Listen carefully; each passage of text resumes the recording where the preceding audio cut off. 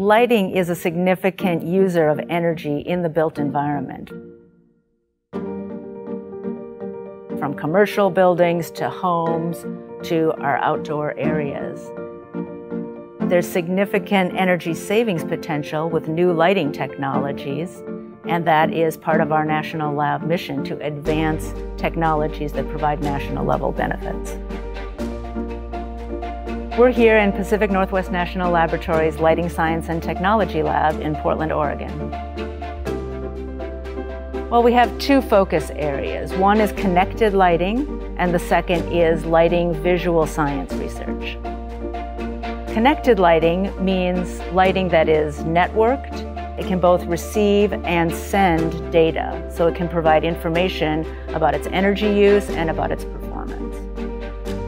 Lighting science visual research means how do humans perceive light and characteristics of light visually and what are their preferences.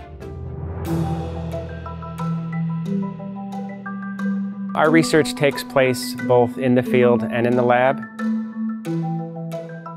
So in the Portland laboratory here, we have high bay space with uh, vertically movable ceilings that allow us to easily install and remove indoor lighting devices.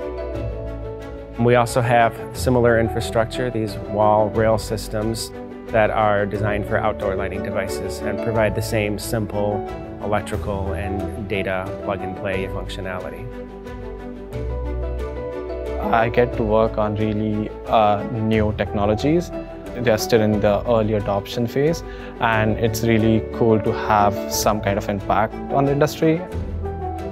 That the research that we do is a quality research and is helping people out there.